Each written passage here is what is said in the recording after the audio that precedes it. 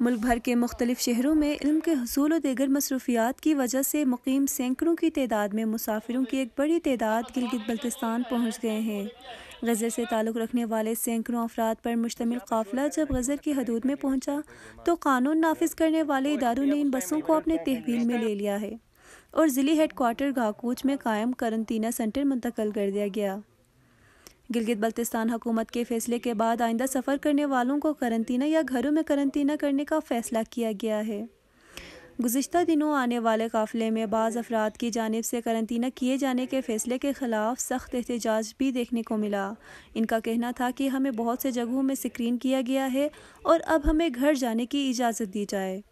سخت مزاحمت پر سیکیورٹی اداروں کو طلب کیا گیا اور طویل مشاورت کے بعد ان مسافروں کو کرنطینہ سینٹر بھجوا دیا گیا ہے۔